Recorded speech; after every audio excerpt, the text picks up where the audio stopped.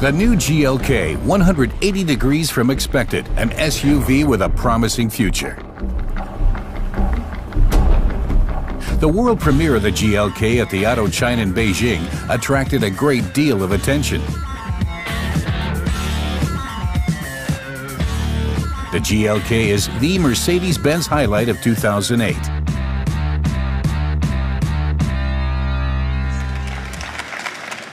The charismatic SUV was presented to the Chinese public by Dr. Dieter Zetsche and the famous Asian actress Zhang Ziyi.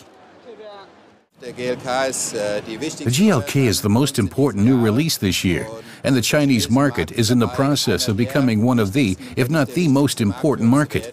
That's why it is such a perfect combination to unveil the GLK to the world for the very first time here in Beijing. At the Mercedes-Benz Fashion Week in Berlin, Kim Cattrall took the opportunity to take a spin in the GLK together with top model Eva Padberg. She had already experienced the SUV during the filming of Sex and the City.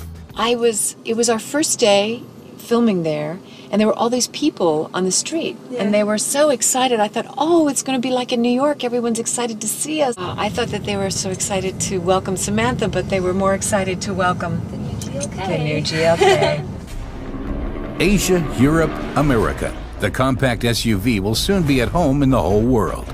In spite of its rugged four-wheel ability, the GLK also knows how to impress in the concrete jungle.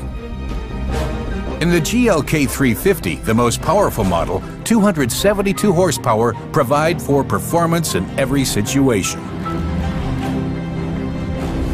Thanks to agility control, the suspension also proves to be a match for almost every circumstance and the shape is just as spectacular as its driving capabilities. Classic lines give the dynamic SUV its angular character. It connects the purest design of the G-Class with the new Mercedes-Benz style language. It's not a vehicle of soft lines, but an SUV that draws on the tradition of the G and the GL, sharp, accentuated surfaces, and angular lines. The spacious interior is accentuated with top quality materials and wide surfaces. Leather seats and an elegant trim underline the atmosphere of well-being.